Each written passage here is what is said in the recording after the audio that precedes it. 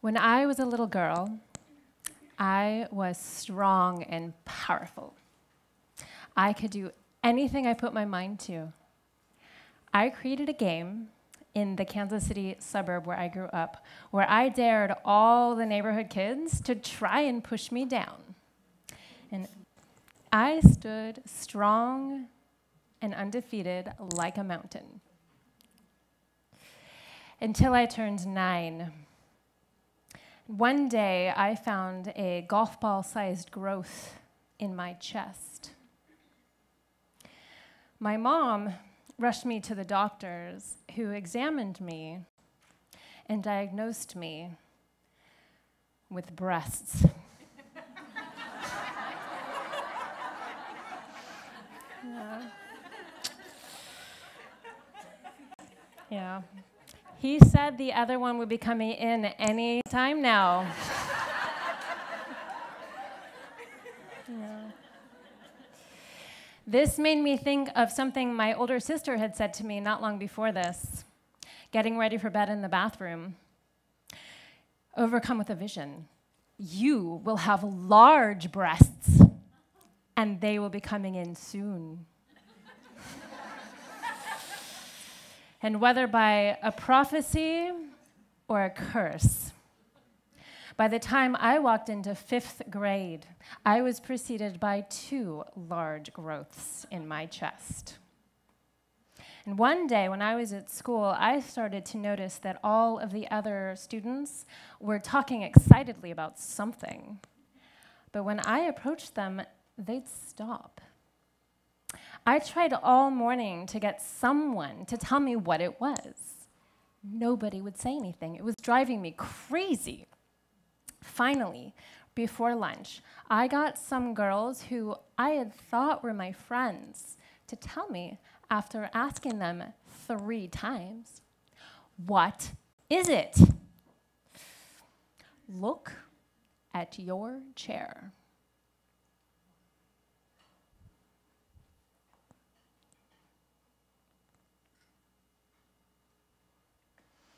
Blood.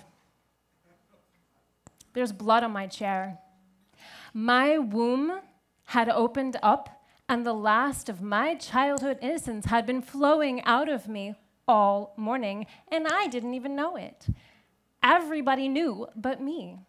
Even my teacher had known, and she hadn't said anything. That felt the weirdest. Why hadn't she told me? Why didn't she have my back? Had I done something wrong? Was there something wrong with me? That day, the nurse sent me home, even though I wasn't sick.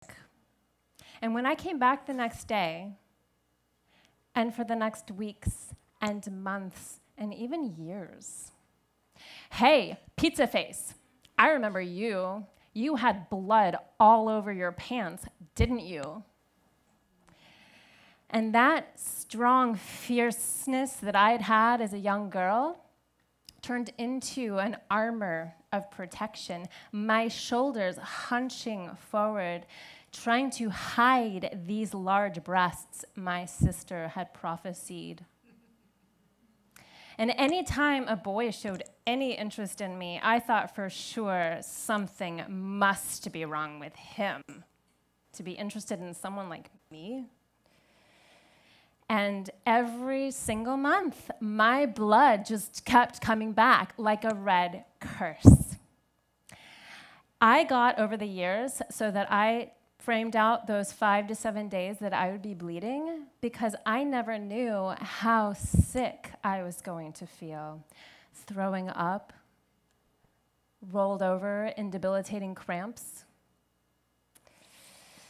Eventually, I made my way to California and I started working with an acupuncturist medicine woman. And she taught me about the sacredness of the female blood. She taught me that the menstrual blood contains a lot of power and life giving force, and that it comes every month with the cycles of the moon. So I started creating ritual every month when I began my blood. I'd put out an altar, a moon altar, while I bled, and then I'd put it away for the rest of the month. I even started collecting my blood and feeding it to my plants in the garden because I had learned that the menstrual blood really does contain life thriving power.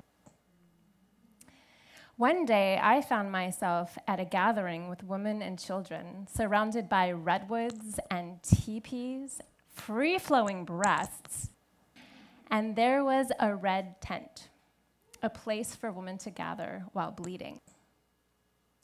I learned that the young, the young girls were gathering in the red tent with the elders, putting together a ceremony to honor their first blood as a rite of passage.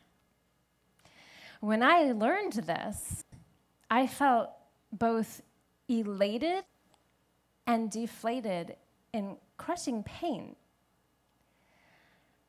I thought about my fifth grade teacher and I wondered had anybody ever taught her about the sacredness of the woman's blood? Had they taught her that it was something to be proud of, or had she been taught how I'd been shown to hide the blood in pain and shame. I stood there with my sisters and I watched as these young maidens walked out of the red tent, all dressed up in red with makeup and their hair done up, followed by the elders. And I sang to them in ritual and prayer but I still felt this crushing pain in my chest and in my womb.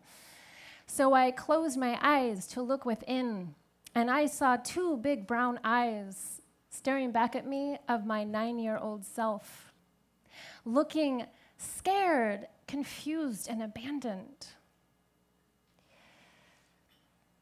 I told her what I wish someone had told me at that age. Your feminine form is beautiful. Your large breasts are powerful. And your blood is sacred.